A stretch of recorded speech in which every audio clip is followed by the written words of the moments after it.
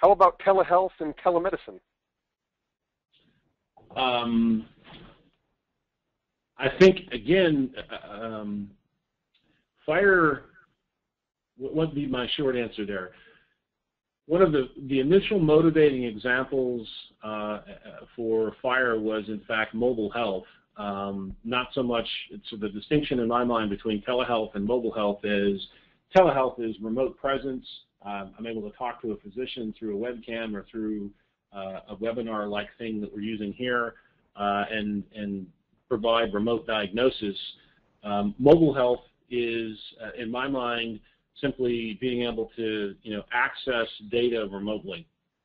Um, so a great example of that might be something like uh, as a uh, I've got a an outpatient EMR, and of course I've got my own database here. And when I'm sitting in my office, I've got the ability to put in a prescription, and that prescription then is you know sent off through NCPDP off to the cloud, and and my my uh, patient can pick up their pharmacy uh, their, their at their favorite pharmacy.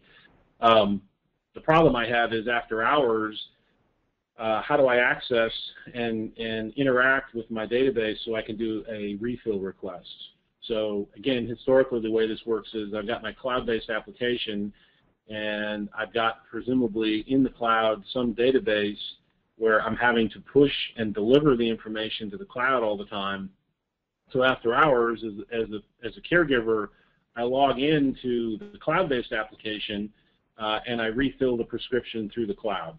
Um, we can imagine that, that FHIR would allow us to do a couple things. One would be that I still may have to present myself through the cloud, but rather than having to push the data all the time to the database in the, in, in the sky, we could imagine that it would allow me to, to gain access to my own data through the cloud.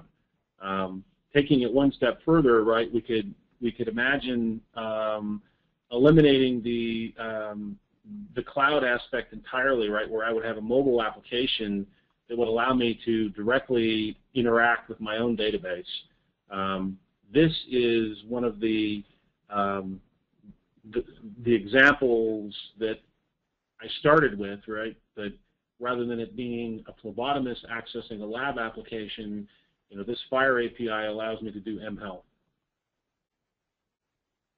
So that might be the, the, the, the short version of that. Sorry for the interruption.